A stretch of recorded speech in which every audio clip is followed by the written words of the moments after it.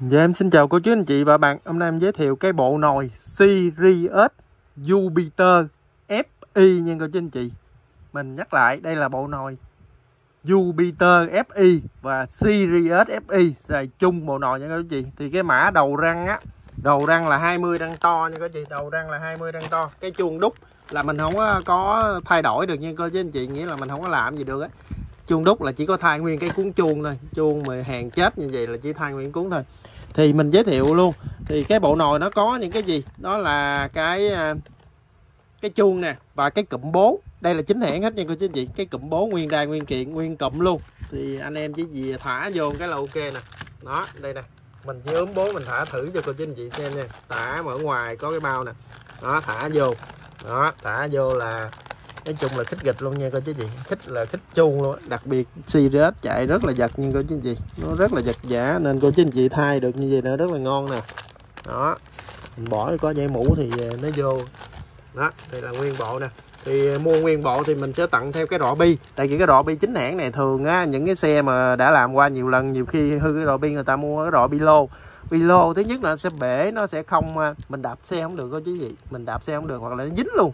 Mình để không được thí dụ như mình à, bấm đề cái là cái ép cái là nó kẹt luôn nó không có quay được hoặc là nó không nó nó bường hoài.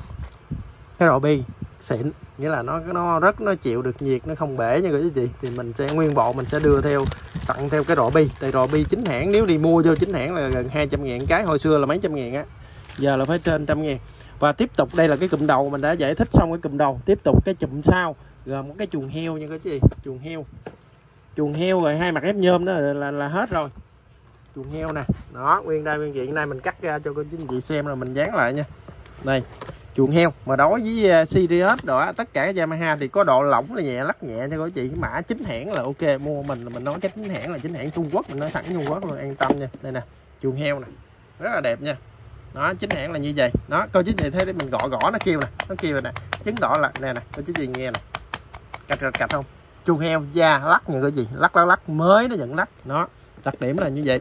Rồi tiếp theo, trong cái chuồng heo là sẽ có hai mặt ép nhôm. Hai mặt ép nhôm thì mình đã bó lại rồi nha các chị. Hai mặt ép nhôm, cái mã chính hãng nè, là CFI UFI nè, đây là mã nè. Hai mặt ép nhôm để bỏ bố vô là xong nè. Và đây là cái lá bố chính hãng của CFI đặc biệt cực kỳ đắt tiền nha cô chú chị, cực kỳ đắt tiền. Thì lá chính hãng người ta đã tẩm dầu hết rồi, cực kỳ đắt tiền. Mình nhắc lại, cái lá bố của CFI cực kỳ đắt tiền. Đó, nó không phải như đồ lô.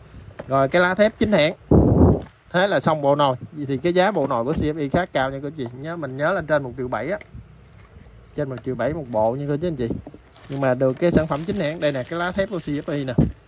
Cô chú anh chị thấy lá thép của CFI nè. Rất là chuẩn nha. Chuẩn mực luôn á. Gọi là chuẩn mực hàng chính hãng. Không có mua đâu có đâu chị trừ khi vô hãng thôi, hoặc là mua của LCD thôi. Rồi mình xin cảm ơn các cô chú anh chị. Đây là trọn bộ mình giới thiệu bộ nồi của CDS FI Jupiter FI đầu răng 20 răng to mình xin cảm ơn các cô chú anh chị.